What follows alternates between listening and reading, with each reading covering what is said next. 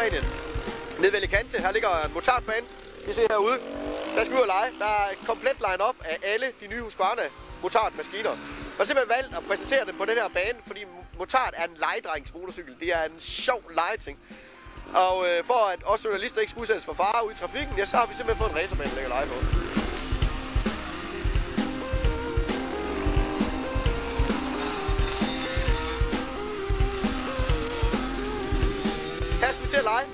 Vi at optage en masse til jer, så I kan se, hvordan omledes man kan køre på de her nye motorer. De ser meget, meget spændende ud, de nye Husqvarna-motorer. De er meget fine.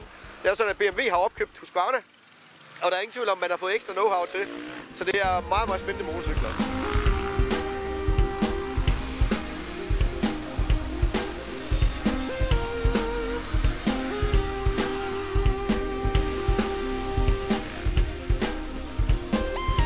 Her er den så. Husqvarnas store motard.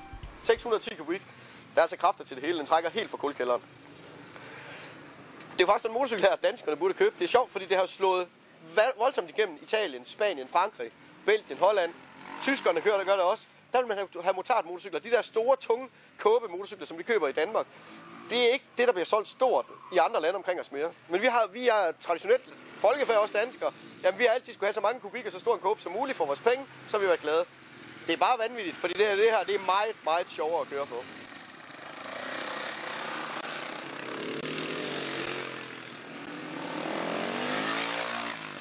Jeg ved godt, danskernes argument for at købe en stor, tung cykel, det er, jamen hvad så, når vi skal sydpå på sommerferie, vi bor i lille Danmark, vi skal bare ned gennem Tyskland. Når man så taler med folk, de har haft den der motorcykel i 10 år, og spørger dem, hvor mange gange de har gjort det, så har de gjort det en gang, at de har taget toget. Og det eneste, jeg har fået ud af det, det er, at de har pakket en stor, tung motorcykel ud af toget ned ved Alberne, som på grund er kedelig at køre på. Alt for stor. Sådan en her, den kan alt, man skal. Så, så hvis retfærdigheden skal til, så burde den også kunne sælge meget, meget bedre i Danmark. Det er kun os, der er så gammeldags og konservative. Jeg tror også, det begynder at komme, fordi vi ser flere og flere, der snakker motard. Og sådan en her, den koster godt 130.000 kroner. Den kan det hele. Den kan køre med lille motor til stranden. Den kan også tage en tur med rødderne ud på landevejen. Og til gengæld så er den himmelsk sjov, når man kommer ned til alberne.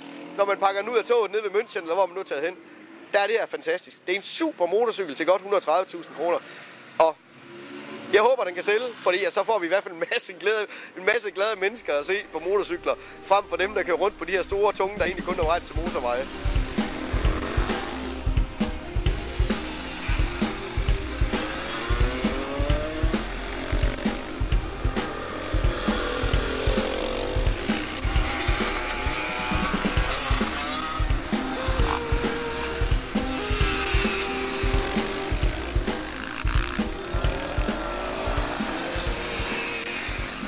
Her den så.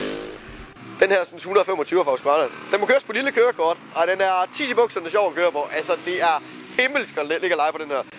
Den her er simpelthen drømmen for det lille, dem med det lille kørekort. Nyt kørekort i hus, så må man ikke køre noget, der er stærkere end den her. Og jeg skal da hilse at sige, at selvom at den er til lille kørekort, så har den altså travlt, den her. Jeg kender ikke noget som helst, der kan følge sådan en her i svingene, det vi kender til normale motorcykler. Hvis svingene de kommer tæt nok, så kan de bare komme med deres 1000 kubik og så videre. Den her, den, får, den, den giver dem altså, den giver, den giver dem kniven hele banden. Den er vanvittig skæg.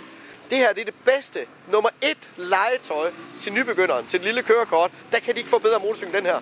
Man burde, hvis alt ret, retfærdighed skal være til, så skal vi se 100 af dem på danske landeveje næste år. Eneste problem er selvfølgelig de ret høje priser, øh, sammenlignet med de andre små motorcykler. Men den er altså det værd. Det her det er sindssygt sjovt foden ud, og så bare fuld gas rundt i svingene. Det er altså bare, ja, tis i bukserne sjovt.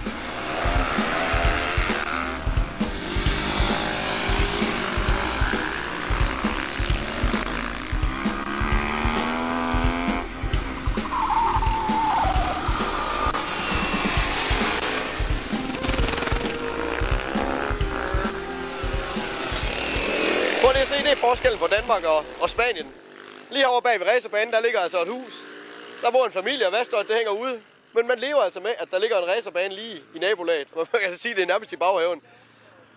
Hvis det var hjemme i Danmark, så lige snart den første fugl, den piber i området, ja, så står Naturfredningsnævner, jeg ved ikke hvad.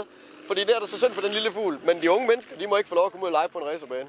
Det er trist, men sådan er det altså i Danmark.